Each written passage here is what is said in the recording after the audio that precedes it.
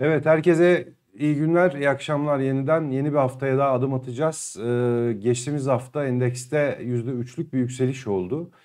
Ee, yani aslında e, geçen hafta oldukça önemli olaylar oldu. Yani endeks bir kere teknik olarak iyi bir yere kadar gitti. 5350'leri bir test ettik. Bu seviyenin üzerine geçmekte zorluk yaşadı ve tekrar endekste bir realizasyonlar yaşanıyordu zaten. E, çarşamba gününden itibaren realizasyonlar yaşanıyordu. Ve cuma günü zaten daha böyle bir olumsuz bir havada olan endeksin üzerine siyaset sahnesinde sürpriz bir şok etkisi yaratıldı ve endekste çok ciddi bir satış baskısı oldu. Gün içerisinde endeksin satışları %3'e kadar düştü. %3'lerden sonra tekrar alımlar etkili oldu ve endeks günü neredeyse %1 eksilerde yani o yüzde üçün yüzde ikisini tekrar geri alarak yüzde bir gibi bir eksiyle bitirdi ve haftalık olarak da endekste yüzde 3.04'lük bir yükseliş oldu. Bu konuda sohbet edeceğiz. Önemli şeyler var. Ereğli geldi. Ereğli ilan etti. İstemir'de bilançolar var. E, bu konularda biraz sohbet ederiz. Onun haricinde Amerika'da bence önemli bir hareket oldu. S&P 500 endeksi çok önemli bir yerden tam 22 haftalık ortalamasından tekrar yukarı doğru bir tepki verdi. Hep o tarafı ifade ediyoruz. Yani Amerika ben artık daha fazla düşmek istemiyorum mesajını veriyor. Ama yukarıda gitmek için de elimde bir malzeme yok. O nedenle işte düşmek istemiyorumla e, gidemiyorum arasında bir git gel git gel şeklinde hareketler yapıyor. Ama tabii haftalık grafikte hala bir ümit ışığı orada var onu ifade edeyim. Dolar endeksinde e, bir gevşeme olabileceğini tahmin ediyorduk. Buna bağlı olarak ons altında bir yukarı doğru bir tepki olur diye bekliyorduk. O da oldu ons altında ama hani ons altının daha fazla git, gitmesi şu aşamada biraz daha zor gibi. Hani 1870 gibi bir yer o tarafta var. Bunlar bizim için önemli olan şeyler. İsterseniz bir haftalık olarak bir e, BIST'i bir inceleyelim. Gördüğünüz gibi Finnet'te açığız ve şu anda XU100 endeksi geçen haftayı %3.04 gibi bir yük, yükselişle bitirdi. Şöyle bir baktığımızda yani X50 endeksi, X30 endeksi de e, aşağı yukarı aynı hareketler var. Yani %3'lerde e, bir yükseliş var. X Tumye endeksi %2,5 67 ile bir miktar daha endeksin altında kaldı ama hani çok da böyle aşağılarda kalan bir yan yok. Peki en çok yükselenler hangileri oldu ona bakalım. Ee, bankacılık endeksi çok sağlam bir yükseliş yaptı. %8 gibi e, bankacılık endeksi yükseldi. 10 likit banka %8 gibi bir yükseliş yaptı. Metal eşya e, sek sektörü yani demir, çelik sektöründeki yükseliş %7,76 oldu. İnşaat endeksi %6,22 oldu. Holdingler %5,67 yükselmiş. Turizm endeksi %5,33 yükseldi gibi gibi bu şekilde iniyor. Elektrik ve e, enerji sektörü %5 yapmış şuralarda aşağılarda hareketler var ve bu şekilde iniyor. Bu sektörlerde zaten yaşanan son olayların da etkisiyle de hani iş işte inşaatta çimento sektörü, yapı malzemeleri, e, demir çelik gibi sektörler bu sektörlerde önemli bazı hareketlilikler oluyor zaten ve olabilir de. En çok düşen endeks %15,13 ile madencilik oldu. Koza altının burada çok büyük bir etkisi var. Çimento endeksi burada %3 gibi bir eksiye girdi. Geçen hafta size ikaz etmiştik yani orada çok agresif hareketler oluyor. Hani her şeyde bir matematik vardır. Dikkat edin şey şeklinde. O tarafta biraz daha hisse fiyatları e, daha fazla dengeye doğru oturuyor. E, yani ilk şok yükseliş bence orada oldu. Bundan sonra daha fazla dikkatli hareket etmekte fayda var ama hani bir şekilde o sektörde e, depremin ardından yapılacak olan yapılanma ve deprem bölgesi haricinde de bir yapılanmadan bahsediyoruz. Bunlar elbette ki bu sektörü 2023'te öne çıkaran önemli etkenler. Gayrimenkul yatırım ortaklığı %1.87 düştü. Onun haricinde hani iletişim endeksi geçen hafta da çok sert düşmüştü. Halen daha orada var ama çok hani yataylaşmış artık. Eksi 0,17 şeklinde e, hareketler oldu. Bunlar tabii e, bugünün e, hisseleriydi. Yani sektörel olarak baktığımızda hisse olarak şöyle bir bakalım, inceleyelim. Geçen haftanın BIST 100 hisseleri içerisindeki en fazla yükselen hissesi Smart olmuş %25. Tofaş Fabrika %21.57 oldu. Burada zaten çok fazla yoruma gerek yok. Yeni bir Stellantis'le yeni bir anlaşma anons ettiler. Bu anlaşma bence e, önemli bir anlaşma. Bir kere bu konuda bir fluluk vardı. Bu bitti. Bunun bitmesiyle de birlikte e, bir netleşme oldu. Stellantis ile ipler kopuyor mu nok noktasından artık uzun vadeli çok güçlü bir işbirliği mesajı alındı. Stellantis markalı yurt içinde satılan, ithal edilen e, araçların bütün yani yüzde yüzü artık Tofaş fabrikanın çatısı altında oldu. 2025'ten itibaren de bu 5 tane markaya ait K0 ve kombi e, modellerinin üretimi de yine tür, tür, Türkiye'de yapılacak. İlk başta buna tabii ya Tofaş işte üretiyordu ve ihracat yapan bir firmaydı. Artık tamamen ithalatçı mı olacak şeklinde bazı yaklaşımlar var oldu. Bunun tabii bilemeyiz. Şu anda ihraç ettiği de Ford'a ait e, şeyler var, markalar var.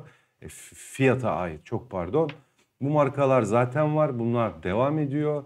Bunun haricinde işte 2025'ten itibaren oluşacak olan o modellerde de tabii ki ihracat olacak mı olmayacak mı bu konularda netleşecek. Ama size şunu söyleyeyim. Bu 5 markanın e, yurt içinde yaratacağı kar ve nakit akışı tabii çok daha yüksek olabilir. Doğuş Otomotiv'le hemen hemen aynı seviyelerde bir miktar daha aşağıda pazar payı olarak ama Doğuş Otomotiv'in sadece geçen sene 400 milyon euro gibi bir kar ettiğini bir kere söylemek isterim. Hani e, ödenen miktarla elde edilen kar çok ciddi. Yani bence çok iyi bir pazarlık yapılmış ve bu pazarlıkla da birlikte de iyi bir anlaşma yapılmış. Nitekim piyasada zaten bunu gördü ve gördü. İstemir'de %20'lik yükseliş oldu. Zorla Enerji %16, Tek, tek, Teknosa %14.78 ile yükseliş var. Bana çok soruyorsunuz Teknosa'nın da bir analizini yapar mısınız diye. Tabii ki e, yaparım. Yazacağım da. Daha henüz bilançoları yazmadım. Başlayacağım ona merak etmeyin ama hani şu ana kadar gelen e, iyi bilançolardan birisi de Teknosa'ya ait. Gerçekten çok güçlü bir bilanço. Aslında 32'lere kadar bence biraz bir abartı bir yükselişti. O ben 25 e, TL gibi bir fiyat hesap ediyordum. Yazımda da var bu. Ama e, çok abartılı bir gidiş oldu. Onun da dönüşü zaten oluyordu. Ona bir de Ocak ayındaki ve Şubat'taki olumsuz hareketler ek, eklenince 17'lere 16-70'lere kadar düştü ki bu bence çok da güzel de bir fırsat verdi aslında. Şimdi, şimdi de oradan da benim izlediğimde de alımlar çok çok etkili. Mesela dün e, Cuma günü mesela çok çok etkiliydi. Bera Ku e, var e, ve bu şekilde aşağı doğru iniyor. En çok düşenlerde Koza Altın %19, Çimsa %15, bu çim %12.8. Bu çimentolar tabii ki bir önceki hafta yaptığı çok agresif e, hareketlerin yorgunluğunu yaşıyorlar. Bunları söylemeye gerek yok. Selçuk Ecza %10. Koza Ağa yine geldi burada %10. Bilançonun etkileri bunlar. Doğuş Otomotiv'de iyi bir hareketten sonra, bilançodan sonra bir realizasyon var ve temettünün e, dağıtım oranı genelde şirketlerde biraz az bu yıl. Bu, bunun da etkisi de olduğunu tahmin ediyoruz. Erbosan, Enerjisa, İpek %8'ler ve $7'lerde yaşanan düşüşler e, oldular aslında. İsterseniz endeksimizi bir açalım, Forex'imizi bir açalım. E, Forex ekranımızda bizim iz, izlediğimiz bir senaryomuz var borsa yüzde, BIST 100 endeksinde. Evet izlediğimiz senaryo bu. Geçen hafta bence çok önemli bir teknik hareket oldu. Ayın 1 Mart ve 2 Mart'ta bu kır, kırmızı alçalan çizgiyi test ettik. 5345'lerdeydi o sırada ama bunu geçemedi ve düşüyordu zaten. E, per, Perşembe günü realizasyonlara iyice hissettik. Cuma da zaten endekste çok böyle güçlü bir hareket yoktu ve cuma günü aniden e, gelen haberle beraber endekste bir inanılmaz bir savrulma oldu. Şimdi cuma günü oluşan şu çubuk çok çok ilginçtir. Yani önce sen e, tam okuyayım size. Önce sen 5298'e kadar iniyorsun. O sırada %3, 3'leri falan okuduk. Eksi %3. Ee, arkasından tekrar buradan yeniden yukarı doğru çıkıp günü günü 5212'den yani 5298 e, çok pardon 5054'e kadar düşüyorsun. 5054'e kadar düştükten sonra 5212'den günü bitiriyorsun. Ee, burada ciddi bir alıcı geldi. Şu anda olduğumuz şey şu. E, bu kırmızı çizgi şu anda bu yeni haftada artık alçalan olduğu için 5325'lerden geçecek. Bu çizginin üzerine çıkamadık ama aşağı doğru da düşmek istemiyoruz. Yani aşağı doğru düştükçe bir alış var. Endekste bir sıkışma var. 5050 aşağıda bence önemli bir seviye oldu. O gün işte şu günkü hareket onu şöyle eğer alırsak şöyle hani 3 aşağı 5 yukarı bir çizginiz olsun önemli olan. İlla böyle milimetrik çizmeniz gerekmiyor. Bu aralıkta bir sıkışma var. Ya endeks yukarı doğru çıkacak ve aşacak 5250 5325'leri aşarsa e, yukarı doğru bir hamlesi olabilir. O, o zaman işte şurası 5571'ler direncimiz olur. İlk ilk gideceğimiz yer olur. Ama henüz aşmadık ve izliyoruz. Yani aşamadıkça aşağı doğru stres çünkü artar. Aşağısı için de hani 5050 e, Cuma günü gelen tepkinin yeri 5050'nin altına düşmedikçe de e, satışlar çok fazla güçlenmeyecek. Yani bizim anladığımız bu. Borsacılar için ifade ediyorum. Bakın söylüyorum. Borsacılar içindir bu yorumum. 5325'in üzerine çıkmadıkça almam. 5050'nin altına düşmedikçe de satmam. Yani bu bir mesela taktik olabilir. Bu bir örnektir. Yani ben burada tamamen bir örnek veriyorum. Hiçbir hissem yoksa da bu iki aralığın üstüne veya altına bir hareket oluşmadıkça da hiçbir şey yapmam ve oturup izlerim. Yani endeks ne yöne doğru bir açılım yapacak? Yani yukarı doğru açılım 5325'in üzerine doğru bir açılım yaparsa giderim alırım o zaman. 5050'nin altına doğru bir düşüş olursa da o zaman da hiçbir şey yapmam yine. Daha aşağıya düşme riski var çünkü o zaman. E, 4800'lere kadar bile olabilir. O vakit işte oraya düşsün oradan alırım diye oturup izlerim açıkçası. Yatırımcılar içinse hiçbir şey yok. Onlar bizler yani ben mesela bir yatırımcıyım benim için önemli olan şirketimdir. Ben ben yani hissemin fiyatını izlemiyorum çok her gün. Yani izlersem çünkü zaten işimiz var, gücümüz var, yapamayız yani. Bizler şirketlerimizi izliyoruz ve şirketimiz bizim için çok çok önemli. Yani Cuma günü Meral Akşener altılı masadan kalktı diye e, şirketler üretimlerini e, dur, durduracak halleri yok. Yani ihracatı falan kıs kıs kısmadılar. Üretimleri falan e, bitirmediler. Yani şalteri indiren yok yani. Halen daha üretiyorlar, satıyorlar, iş var. Bunlar halen daha oluyor. O yüzden hani yatırımcılar için herhangi bir fark yok. Yatırımınız var, bir şirkete ortaksınız. Sizler kısa vadeli hareketler için bu işi yapmıyorsunuz. Sizler bundan birkaç sene sonraki şir şirketin ulaşacağı ciro, satış ve kar rakamlarını hedef yaparak bu işe gir girdiniz. Değer uzun vadede oluşur. Ee, ve o yüzden hani bizler için endeksin 5050'nin e, altına inip 4800'lere kadar düşmesi çok farklı, çok böyle çok çok önemli bir anlamı yok açıkçası. Ha bu burada şu soruyu soruyorlar bana. İyi de hocam şimdi tamam ben de yatırımcıyım. Ama yani endekste düşecekse de daha da aşağıya neden elimde hisseyi tutayım? E, düşer daha da aşağıdan alırım diye. Hatta şöyle de bir laf var işte ben niye tutayım o zaman enayi miyim?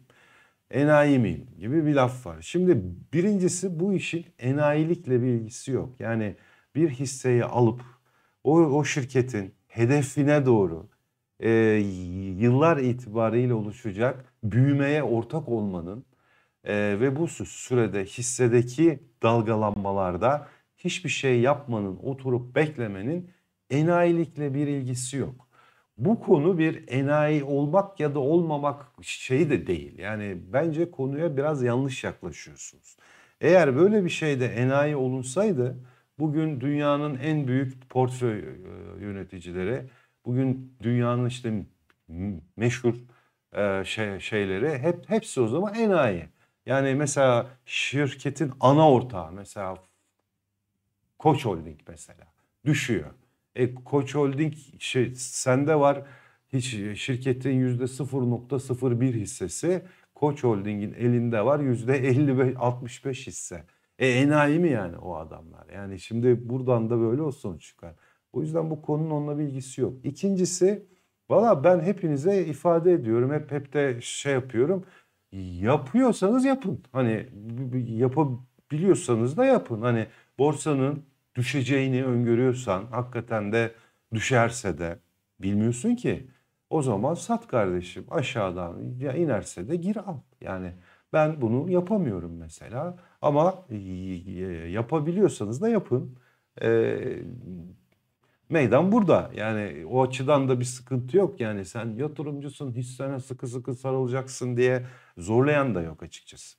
Şimdi önemli olan şu cuma günü bize bir ders oldu. Ne dersi oldu? Sakin kalmanın ne kadar önemli bir şey olduğunu anladık. Şimdi çok büyük ihtimalle endeks %3'e düştüğünde hissesini satanlar çok olmuştur. E, sattıktan sonra da muh, muhtemelen hisseler sattığı yerin daha da üstü üst seviyede de bitirmiştir. O nedenle sakinlik bu tarz şeylerde çok çok e, önemlidir. Fiyatların düşmesi şirketinizle ilgili bir sorun yüzünden oluşmuyor. Fiyatlar o sırada piyasaya gelen bir haber yüzünden yani sizin şirketinizin faaliyetleriyle ilgisi olmayan bir sebep yüzünden iniyor. Bu sebepten iniyorsa iki gün sonra başka bir haber gelir. Bu sefer de aniden yukarıya da hareket olabilir. Bunu ifade etmek isterim. E, şu grafikte son söylemek istediğim şey var. Hep her hafta ifade ediyorum. Yani biz şu anda artık yükselen hani şuralardan gelen şu büyük ve coşkulu yükselişi artık bitirdik. Bundan sonra artık böyle sıkışan ve sıkışık bir seyir içinde hareket ediyoruz. O nedenle böyle borçla, harçla kredili bir şekilde piyasada olmak e, bence çok mantıklı değil. Olacaksanız kendinize ait bir miktarla olmalısınız. Kendinize ait bir parayla ve ve size birkaç ay sonra ihtiyacınızın olmayacağı bir parayla olmalısınız. Bu size bir şans verir, avantaj verir. Aksi takdirde yorganınızın 3 katı, 2 katı daha büyük iş iş işlere girerseniz endeks işte cuma günkü gibi bir yüz bir böyle bir yüzde üç ardından yeniden bir yüzde iki falan gibi bir düştüğünde anında zaten e, finişi yakalıyorsunuz. O nedenle bence çok ciddi sıkıntılar bunlar. Evet e, e, Amerika gördüğünüz gibi yine Forex ekranımızı açalım. E, şuradan net bir şekilde bakın haftalığını açıyorum. Hatta şu 50 haftalığı da bir uçurayıp çok rahat e, uçuruluyor. 22 günlük ortalama şu kır, kırmızı. Orası kaçtaydı? 3928'deydi. Oraya kadar geldi. Oraya vurdu ve tekrar o da mesela yukarı doğru bir tepki yaparak bitirdi. E, MACD'ler sıfırın üzerinde. RSI 50'nin üzerinde haftalıkta. Yani Amerika'da haftalık e, chart bence e, iyi, çok kötü değil. Şunu biraz bir kır, kırmıştık geçen haftalarda.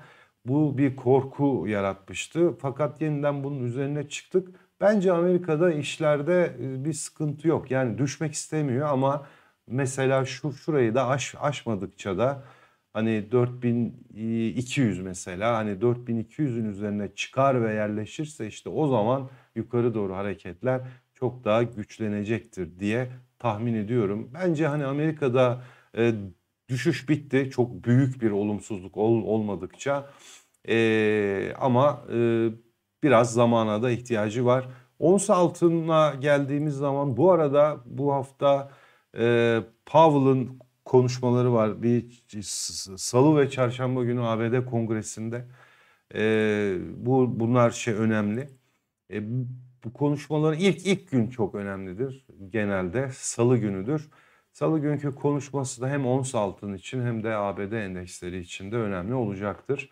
Ons altına baktığımızda geçen hafta bildiğiniz gibi burayı hani 1810'lar seviyesinin önemli bir destek olduğunu ifade ediyorduk ve bu buradan bir tepkinin olabileceğini söylüyordu. Nitekim oldu. Hani hakikaten 1810'lardan 1805'lerden 1855'e kadar çıktı geldi. Yalnız şurada e, tam burada yani 1868 evet 50 günlük ortalaması.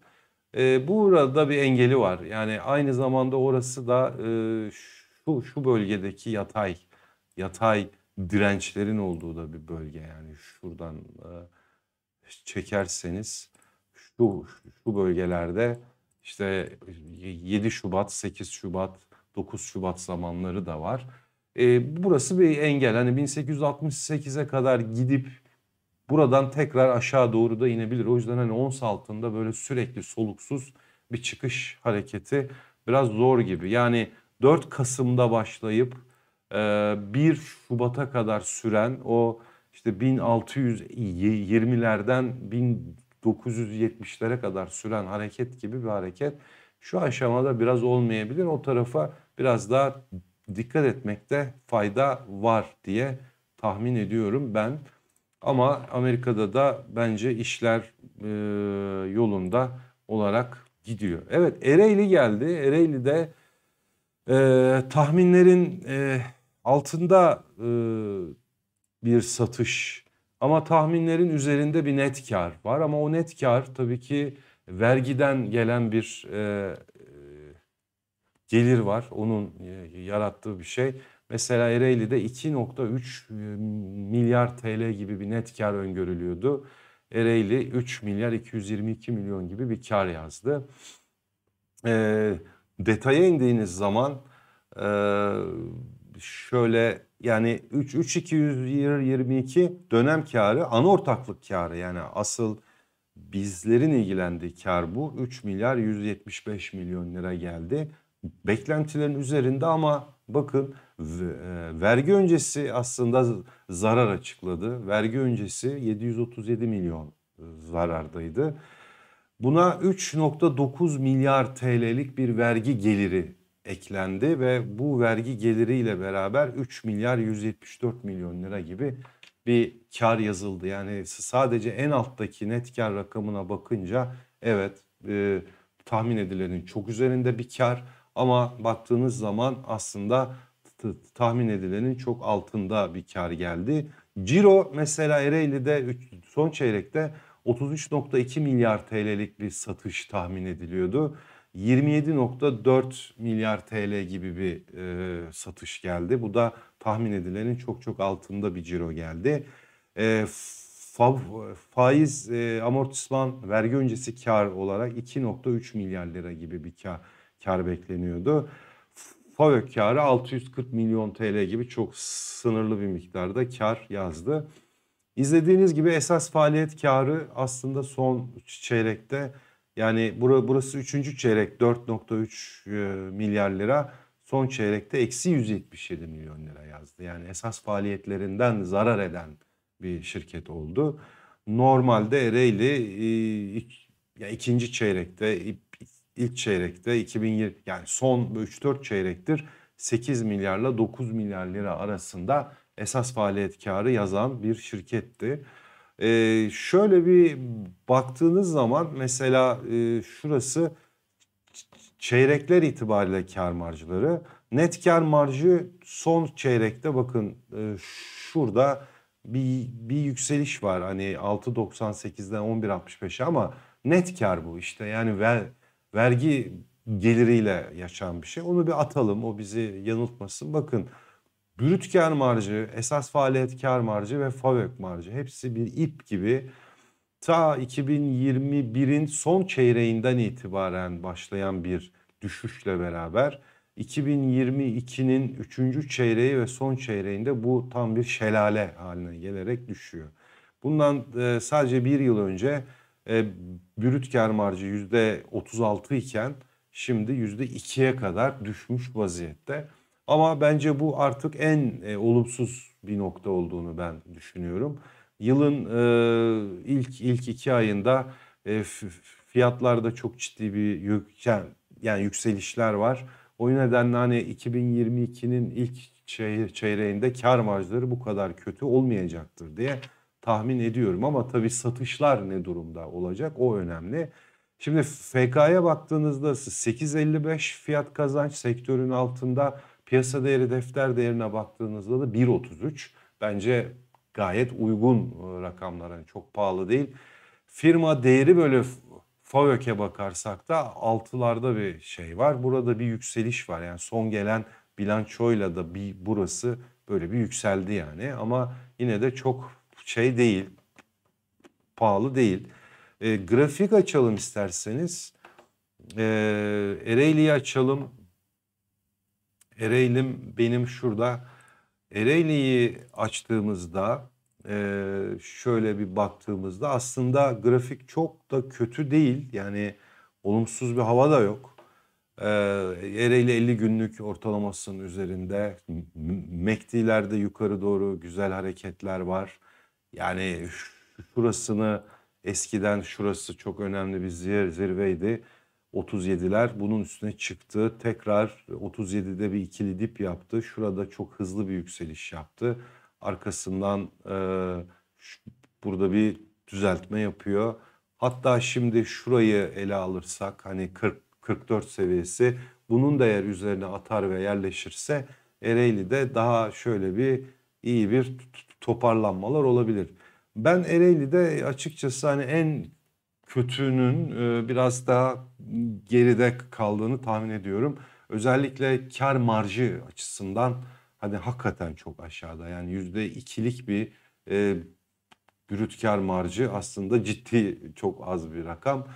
Fakat bunun artık bu çeyrekler itibariyle yerini yeniden yukarı yönlü bir eğilime bırakacağını tahmin ediyorum. Ama e, satışlar ne kadar olacak orasını bilemiyorum. Bakın az önce baktık son çeyrekte millet 33 e, milyar TL gibi bir ciro tahmin ederken 27 27'lere gelen bir ciro.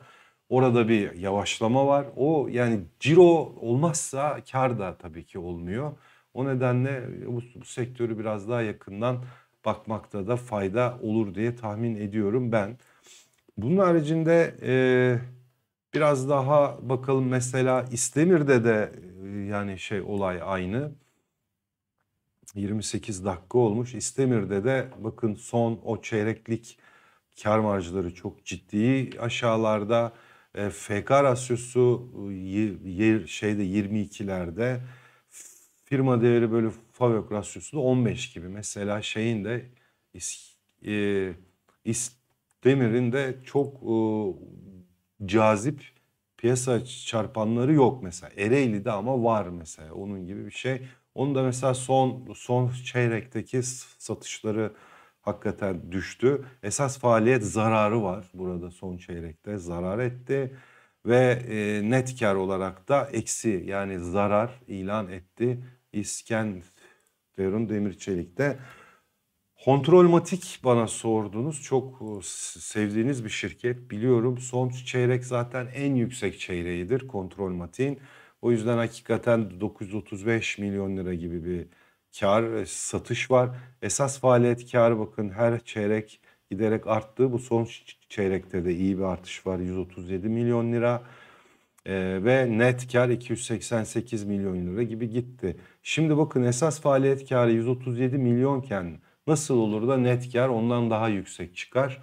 Niçin çıkmış? Hemen buradan anlayabilirsiniz. Şurada e, finansman giderleri artmasına rağmen diğer faaliyetlerden gelen bir 209 milyon e, milyon liralık bir gelir var.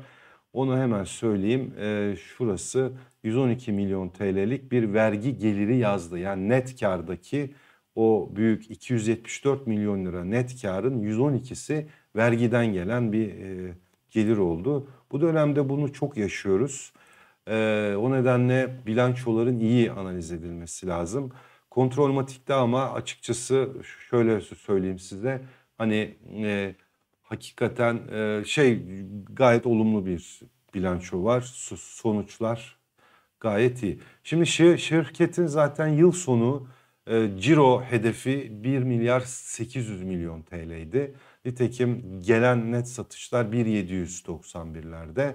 Net karda da aşağı yukarı bu civarlarda bir 450 460 gibi milyon TL gibi bir kar bekliyorduk. Nitekim burada da bir sürpriz yok. Yılı 469 milyon liralık bir karla bitirdi. Aslında hani tahmin edilen yönde gelen bir kar rakamı bu. Onu da ifade edeyim. Hani son çeyrekte çok kar çıktı diye de.